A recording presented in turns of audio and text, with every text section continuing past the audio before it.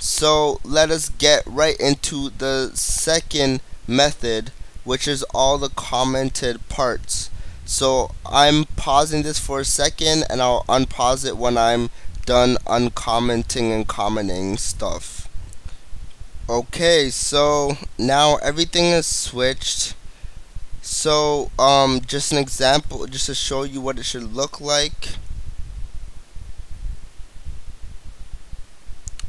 so you'll still get the same smooth animation. Uh, I feel like I think this one moves slower than the other one but it, it, the animation moves slower but it's generally the same program. So let's see what I changed within the program. So um, everything else is the same but now we're going to be utilizing the current image right now.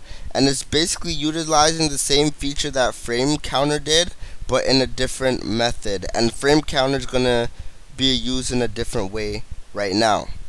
So in if is active okay frame counter is basically what it was in the last um, sprites um, tutorials in the part 1 part 2 and part 3 um, frame counter is just gonna count until it reaches the switch frame right? It's the switch frame value.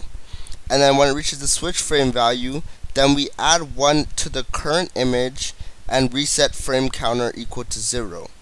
And then if the current frame is greater or should be greater or equal to 4, then we reset current image to 0 again. So it's basically doing what it, it did over here. It's basically doing the exact same thing what frame counter did. It's determining which frame to which current frame of the frame set should we draw and then if the player is not pressing nothing then we set the frame count to zero and the current image to zero. And for the uh, for actually blitting to the screen the blitting is exact same. We cast it to an int cast. We put current image plus the base image. Same thing. Draw it to the buffer. The position is the same. We um and we get the width and the height the exact same way and um, everything else in the program remains the same. It's just two altered methods. I believe the first first method is easier to go through, but it just depends on your style of coding, which method you rather use. So let's do a quick run through, and I will play the program one more time because I don't remember who, but some people commented. Um, I think one person commented on one of my videos, one or two, that said that I should run the program at the very end to show you guys the end result. So I promise I will do this.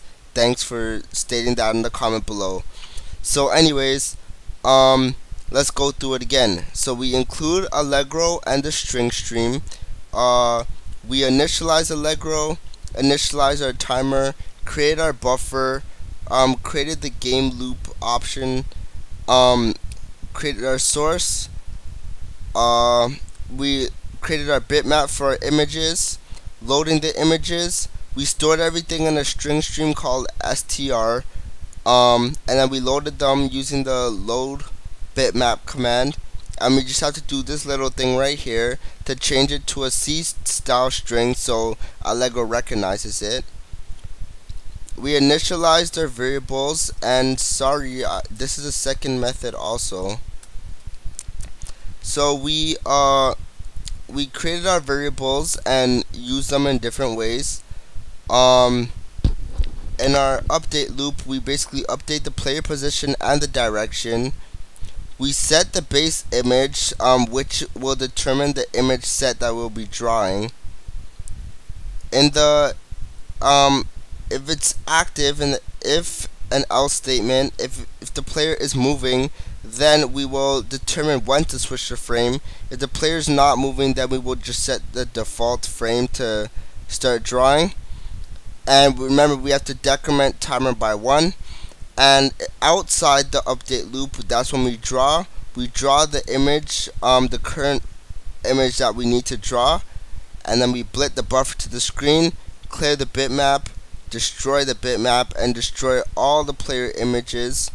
And exit Allegro, return 0, and end of main. So run this program for the final time for all you guys out there. so let's see this masterpiece come to life. So once you right pressing down left and up. And that's it for this tutorial. Thanks for watching. Hope you enjoyed it. And bye